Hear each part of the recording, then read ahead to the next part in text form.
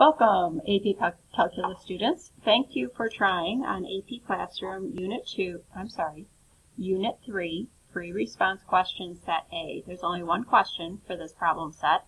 Uh, let's see, it is a graphing calculator question. You are permitted to use your calculator to do three, one of three things.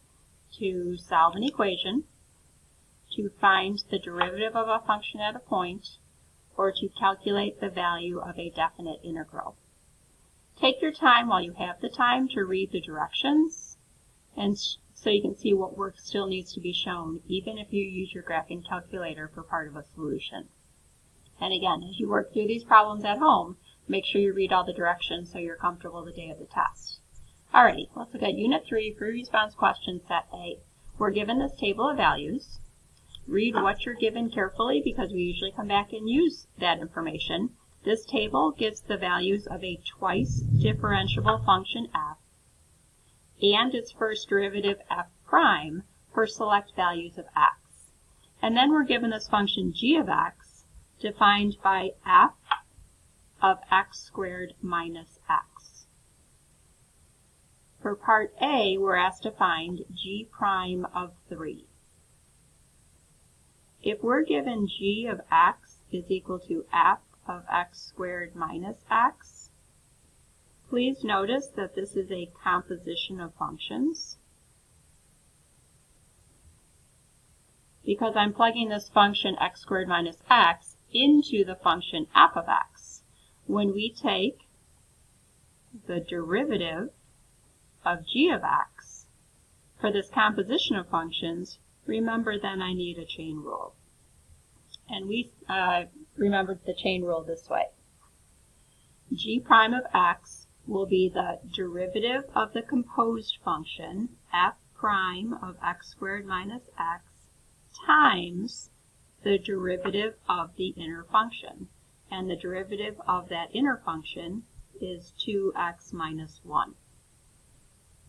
Alrighty, so there's my chain rule.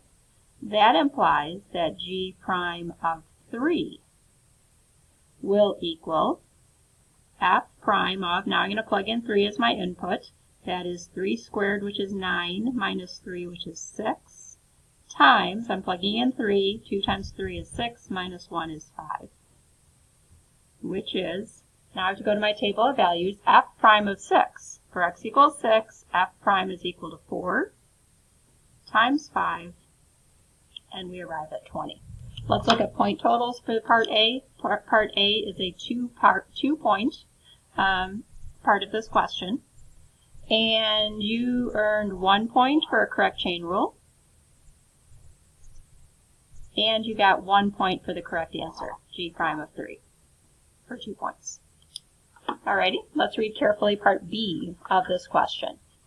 It is known that g double prime of 0 is equal to negative 1 so what is the value of f double prime of 0? Okay, for part B, and let me check. Part B is worth 3 points. And let's see where those 3 points came from. I need this. I need to remember from part A that f, uh, let's see, I need g double prime of 0, and I know that g prime is equal to, okay, so this was g prime from part A. And now I need a function for g double prime. g double prime of x. There are two points awarded for finding the second derivative. Please notice that in this case I need a product rule. There's my product rule. But I'll also need a chain rule. Okay, product rule and chain rule. Oh, okay, uh, so using my product rule, which we remembered as the first, prime of x squared minus x, times the derivative of the second, the derivative of that second part is simply 2, plus the second, which is 2x minus 1, times the derivative of the first. If I find the derivative of this first part, I need a chain rule, and it is going to conveniently be a second derivative of the composed function x squared minus x times the derivative of what's inside that inner function, which is 2x minus 1. All right, I might clean that up a bit, and g double prime of x is equal to, that's just 2, 2f prime of x squared minus x plus, I actually have two of these, so I might write that as 2x minus 1 squared times the second derivative of x squared minus x. But we were asked to find g, oh no, we were given that g double prime of 0 is equal to negative 1. So that implies that g double prime of 0, let me plug in 0 for x, is 2 times f prime of, plug in 0 for x, plus plug in 0 for x, that'll be negative 1 squared times f double prime of 0. And remember, this is what we're asked to find, f double prime of 0. Alrighty.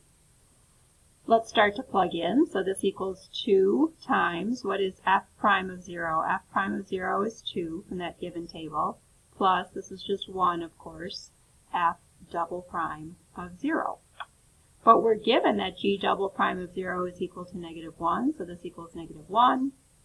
That implies that 4 plus f double prime of 0 is equal to negative 1, and solving f double prime of 0 is equal to negative 5. Again, point totals. Point totals for this question. You were given two points to find the second derivative, and you were given one point to arrive at this correct second derivative. f double prime of 0 is equal to negative 5. Okay, carefully read part C. When I read part C, is there a value of C for 0 less than C is less than 3 such that Z, G of C is equal to 5? And justify your question. Justify your answer, I'm so sorry. This sounds like an intermediate value theorem question to me. Okay, so you got a point for this condition of the intermediate value theorem. F is given to be twice differentiable. If f is twice differentiable, it is continuous. But we're not asked about f, we're asked about g. So, g is also continuous. Why is g continuous? Since it is a composition of two continuous functions. And you got a point just for stating a reason why g is continuous in this two-point part of question of this question. Alrighty, so g is a continuous function. That's a condition of the in intermediate value theorem. Now, we see that g of 0 is really just f of plugging in 0 into that composition of functions we were given, f of 0 minus 0, which is f of 0. I go to my table of values. When x is 0, f of 0 is 4. And I can find g of 3. g of 3 is f of 9 minus 3, plugging into that composition of functions, which is the same as f of 6. Go to your table of values. When x is 6, f of 6 is 7. Alrighty.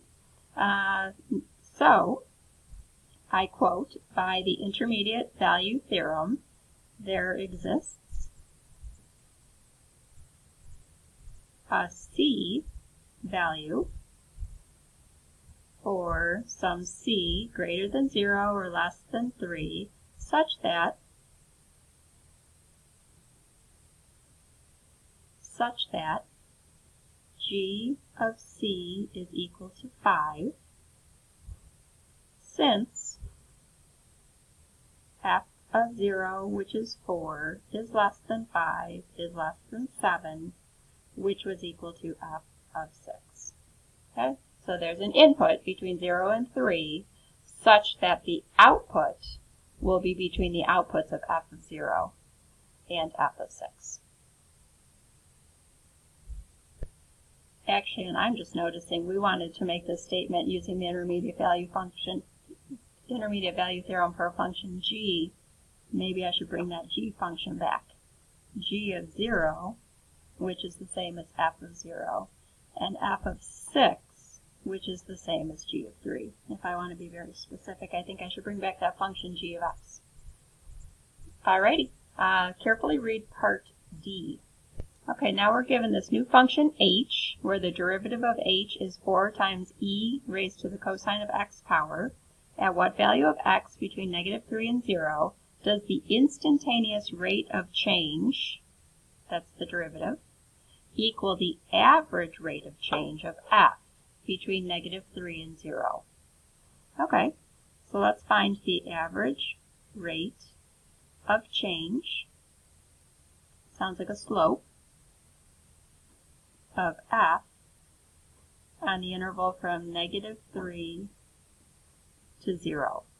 Okay, that average rate of change will be f of 0 minus f of negative 3 all over 0 minus a negative 3.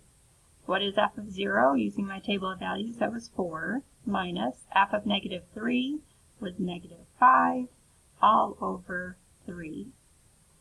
And that average rate of change between negative 3 and 0 for the function f is 3. So now we need h prime of x, which is equal to 4e to the cosine x equal to 3.